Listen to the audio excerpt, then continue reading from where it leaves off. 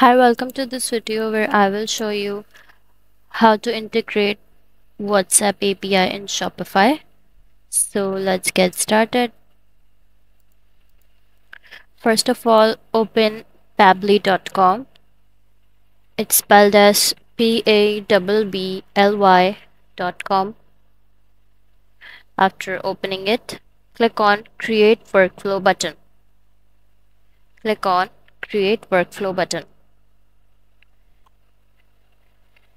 Now write down the name. After writing down the name, click on create button. Click on create button.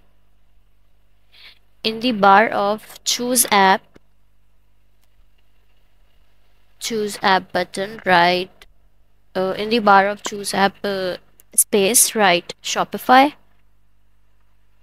After writing Shopify, fill the next bar and then copy the URL.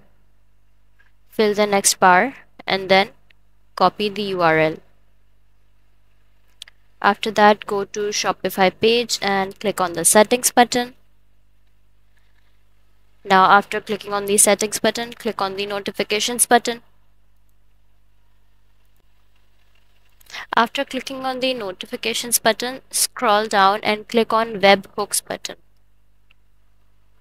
click on webhooks button. Now the URL that you have copied earlier paste it here paste the URL here and click on the save button. Now go to pabbly.com page again. Scroll down. Click on plus sign click on the plus sign. Now write in the bar WhatsApp. Write in the bar WhatsApp. Click on WhatsApp Cloud API. Click on WhatsApp Cloud API button.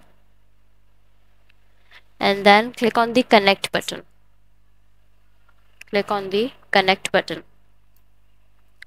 Click on add ner node add new connection.